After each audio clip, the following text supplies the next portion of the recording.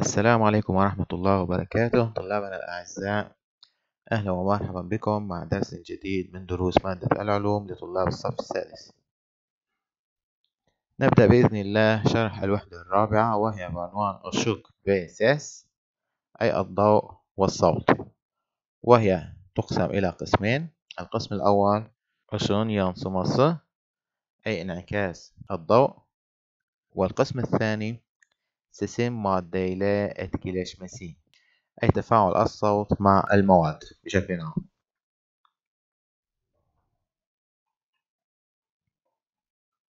نبدأ من الصفحة 128 مع أولا أشون yansıması أي انعكاس الضوء كما تحدثنا منذ قليل. ونبدأ من هذه الفقرة. Kaynağından yayılan ışığın her yönde ve doğrusal yollar izleyerek yayıldığını hatırlayınız. أي تذكروا أن الضوء المنتشر ışığın yayılan الضوء المنتشر kaynağından من مصدره لنلاحظ هذه الصورة هنا لنعتبر أن هذا المصباح هو مصدر الضوء والضوء المنتشر منه كيف يخرج منه وكيف ينتشر اولا هيريون ده أي في كل الاتجاهات. فادوروسال يولار. أي بطرق خطية. مستقيمة. كما نلاحظ ينتشر الضوء بشكل خط وينعكس أيضا بشكل خط اشق هيريون ده دوروسال يولار. إزيرك. yayılmasını sürdürürken farklı maddelerle karşılaşır. أي عندما ينتشر الضوء في كل الاتجاهات. her yönde في كل الاتجاهات وبشكل طرق خطية أثناء انتشار هذا الضوء فإنه يواجه العديد من المواد مختلفة. her madde ışıkla farklı biçimde etkileşir أي أن كل مادة تتفاعل مع الضوء بشكل مختلف. وشون صيدام مادة لردان جتشير كان. صيدام أول مايان مادة لردان جتش مديني يار صيدام مادة لردان يسه belli bir oranda geçtiğini hatırlayınız. أي تذكروا أن أولا saydam maddelerden geçerken عندما يعبر الضوء من المواد الشفافة كالزجاج مثلا saydam olmayan المواد الغير شفافة geçemediğini أي أنه لا يعبر من المواد الغير şeffafة yarı saydam أي النصف şeffafة maddelerden ise belli bir oranda أي أنه يعبر بنسبة محددة من المواد النصف شفافة. فهو يعبر بشكل كامل من المواد الشفافة كالزجاج ويعبر بنسبة معينة من المواد نصف الشفافة كالقماش مثلا القماش الأبيض أو الورق. ولا يعبر ابدا من المواد الغير شفافة كالخشب أو الحديد أشك صيدام olmayan açık renkli bir maddeye ya da aynaya çarptığında büyük oranda geldiği ortama geri dönüyor. أي أن الضوء عندما يصطدم بجسم غير شفاف ويكون ذو لون فاتح أتشك رينكلي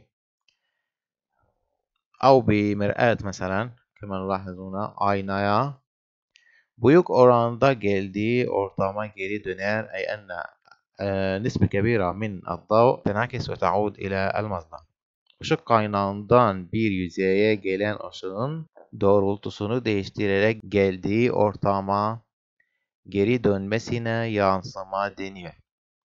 denir أي يقال yansıma الانعكاس يطلق اسم الانعكاس geri dönmesine أي عودة الضوء إلى الوسط الذي جاء منه عبر تغيير استقامته بعد اصطدامه بمسطح الماء.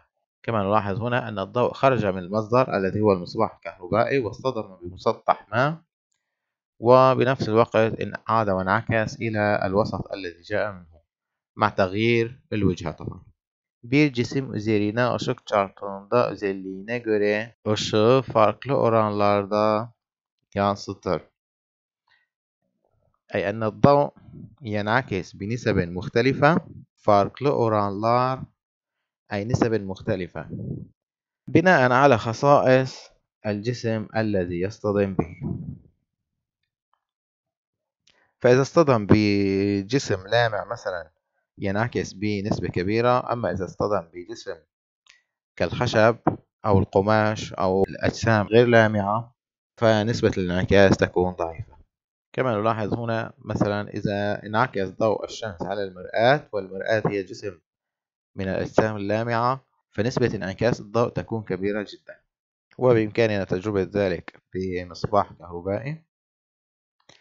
الآن إذا كان لدينا مسطح ما وقمنا بتوجيه الضوء عليه. فالأشعة القادمة من المصدر يطلق عليها اسم جلان أشن أي الأشعة القادمة. أما الأشعة الصادرة فيطلق عليها اسم يانصيان أشن أي الأشعة المنعكسة. وهنا تعريفها bir cisme doğru gelen ışık ışınlarına gelen ışın أي يطلق اسم الأشعة القادمة على أشعة الضوء القادمة مباشرة إلى جسم ما بشكل مستقيم. Cisme çarptıktan sonra geldiği ortama geri dönen ışık ışınlarına yansıyan ışın denir. أي يطلق اسم ينصيان اشن كما تحدثنا الأشعة المنعكسة على أشعة الضوء العائدة إلى نفس الوسط الذي جاءت منه بعد اصطدامها بالجسم. الآن لدينا نوعين من انعكاس الضوء. düzgün yüzeylerde yansıma أي انعكاس على الأجسام المسطحة المستقيمة وبروزلو yüzeylerde yansıma انعكاس على الأجسام الخشنة. لنبدأ بالأجسام المسطحة. Birbirine paralel olarak gelen ışık ışınları düzgün bir yüzeyden yansıdığından bu yansıyan ışık ışınları da birbirine paraleldir.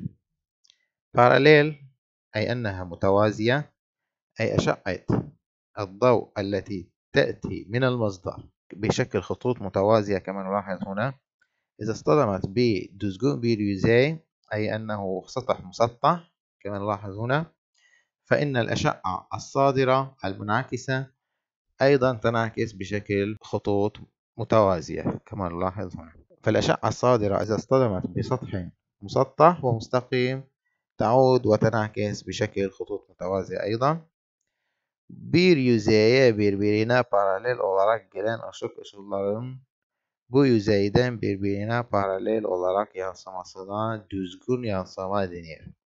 يطلق على هذا النوع من انعكاس الأشعة المتوازية على سطح المسطح وعودتها بشكل خطوط متوازية دزجون ينصما أي الانعكاس المستقيم.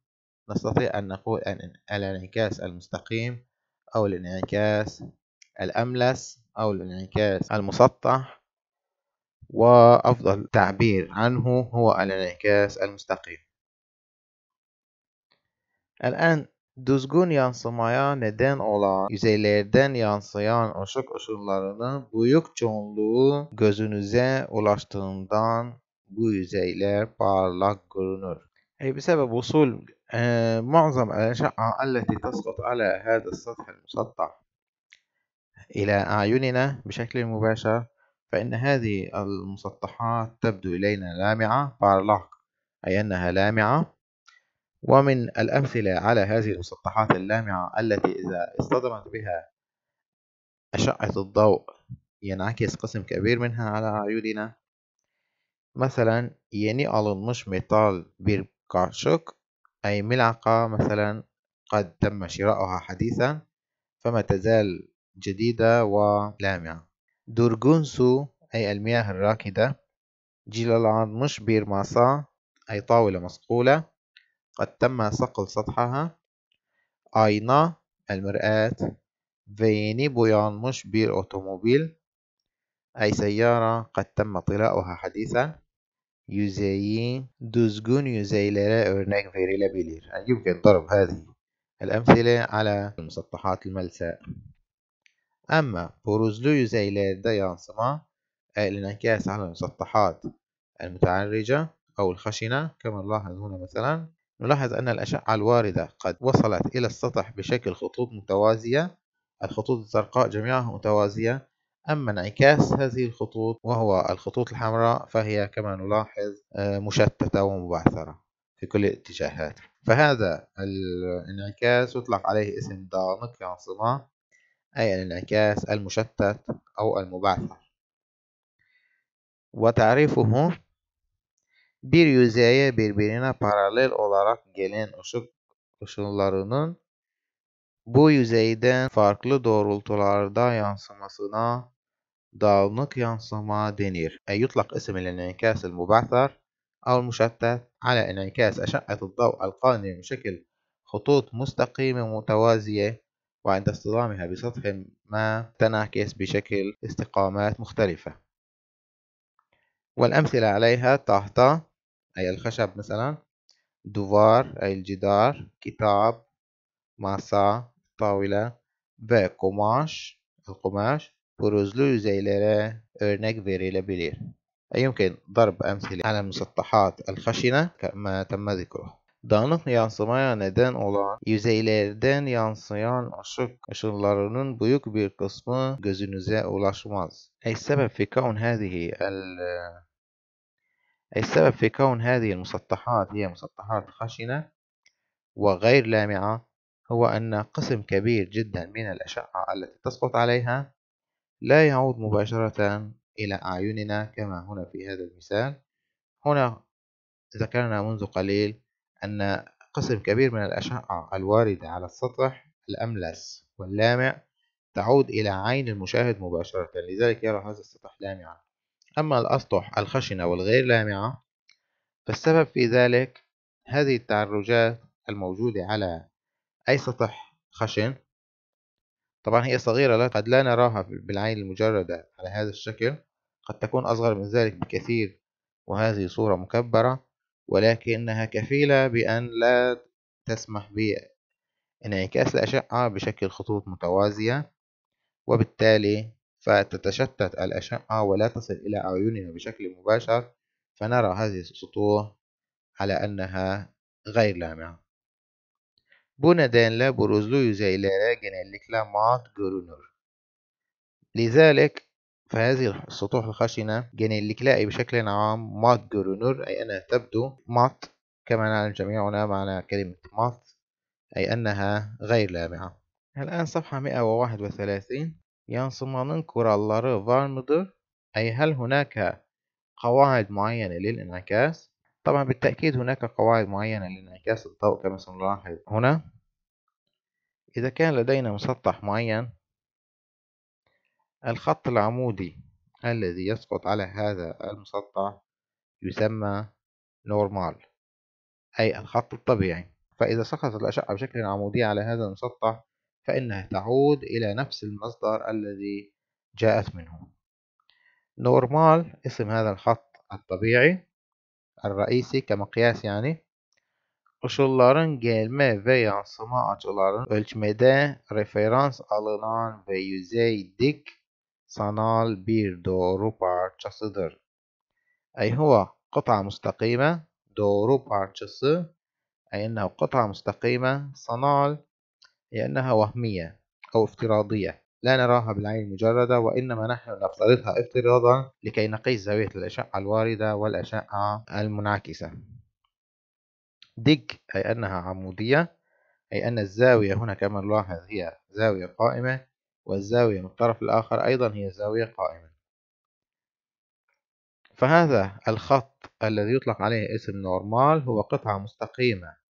افتراضية وعمودية. تعتبر المؤشر عند قياس زاوية الورود التي هي جلان أشن وزاوية الانعكاس يانسيان أشن Gelen ışının yüzeye değdiği noktaya dik olarak çizilir.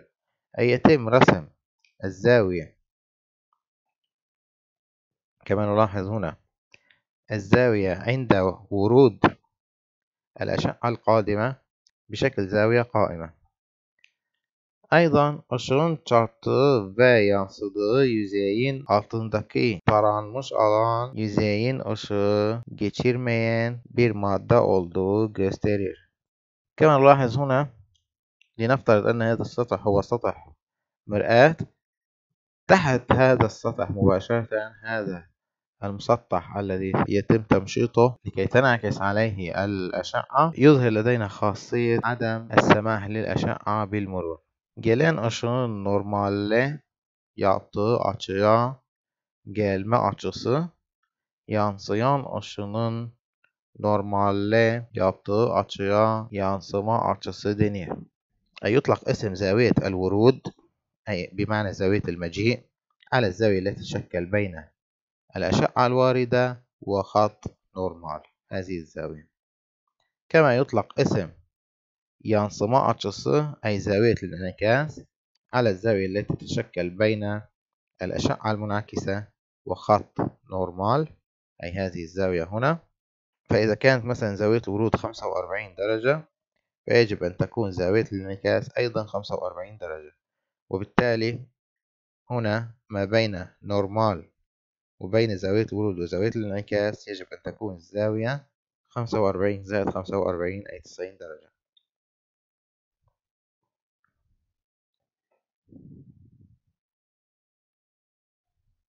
أخيرا قواعد المتعلقة بانعكاس الضوء Aşağın herhangi bir yüzeyden yansıması belli kurallara göre gerçekleşir. أي يتحقق انعكاس الضوء على أي سطح ما بناء على قواعد محددة. gelen ışın أي الأشعة الواردة. yansıyan ışın الأشعة المنعكسة. normal arasındaki bir ilişki vardır. أي أن هناك علاقة بين خط نورمال الخط الرئيسي الذي هو يعتبر كمقياس للتمييز بين الأشعة الواردة والأشعة المنعكسة bilim insanları bu ilişkiyi yansıma kuralları olarak ifade eder.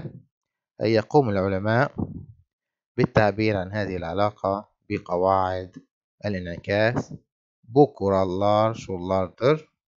أي هذه القواعد هي ما يلي أولا gelen ışın yansıyan ışın ve yüzeyin normalliği aynı düzlemdedir. أي الأشعة الواردة gelen ışın والأشعة المنعكسة yansıyan ışın ve yüzeyin normali أي نورمال الخط الرئيسي الخاص بهذا المسطح ترسم على مخطط واحد. كما نلاحظ هنا جميعها يجب أن تقع في مخطط واحد. bir yüzeye gelen ışının gelme açısı yansıma açısına eşittir. الأشعة الواردة على سطح ما يجب أن تكون مساوية eşittir للأشعة المنعكسة. Bir yüzeye dik normal üzerinden gelen ışın aynı doğrultuda normal üzerinden geri yansır. الأشعة قادمة بشكل عمودي على خط ال normal تماما فإنها تنعكس أيضا بشكل عمودي وتعود أيضا على خط ال normal تماما فإذا قمنا بتوجيه الضوء من الأعلى بشكل عمودي على المسطح فتعود الأشعة المنعكسة إلى المصدر الذي جاءت منه. وبذلك أعزائي الطلاب ينتهي القسم الأول من هذه الوحدة ولنا لقاء مع القسم الثاني المتعلق بالصوت قريبا بإذن الله. والسلام عليكم ورحمة الله وبركاته.